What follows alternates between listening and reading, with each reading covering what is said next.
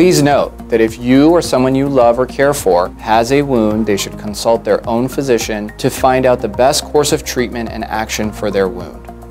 At the Skilled Wound Care Physicians and Surgeons Group, we perform surgical debridement where we actually remove dead or devitalized tissue from the surface or the base of a wound. And these debridements can be done over multiple periods of time. And our practice has actually published studies in the area of wound debridements in the nursing home or the long-term care setting. The majority of patients will only need a few debridements to create a clean, granulating wound base that will allow their wounds to heal. But there are a small population of patients that may need debridements multiple times. And this can be because these wounds are chronic and they will require multiple sessions to remove dead or devitalized tissue that may occur repeatedly. And this is not a negative or a positive for a patient, this is just the reality of wound care. A debridement should go down to healthy bleeding tissue.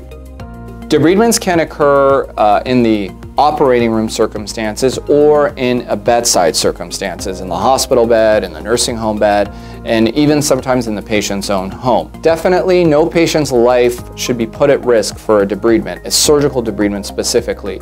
So your practitioner should take care to make sure that their debridement is being performed in a safe and effective setting.